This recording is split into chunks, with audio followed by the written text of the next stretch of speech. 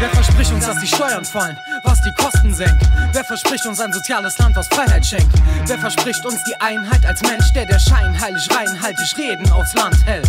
Politik wird wie eine Westernschelle und deutlich wie Debatten von der Westerwelle. Und ich komme heute, um zu sagen, was ich denk. Ich denk, dass Hip-Hop in eine fucking Richtung leckt. Rapper gehen über Beef, über Ghetto, leckt mein Arsch, leben wohl behütet mit der Mom, Abitur, Internat an. Denk, denk, denk, da sei der Stance in der Hood. Doch sein Kopf in seiner Pult. Und wo ist das denn noch Hip-Hop? Wo ist der Spaß geblieben? All die Graspaffen und Spaß, haben meinen Spaß vertrieben. Alle Rapper labern Scheiße und sie hetzen über Politik. Dort sieht man im Vergleich, bleibt nicht viel, was dann noch übrig ist.